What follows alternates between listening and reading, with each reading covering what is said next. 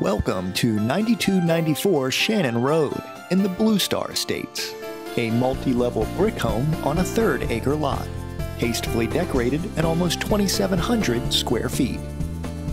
Entrance hall. Up a few steps to the living room with walkout bay. Formal dining room.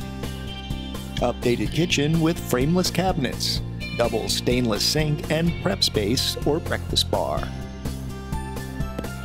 Sunroom.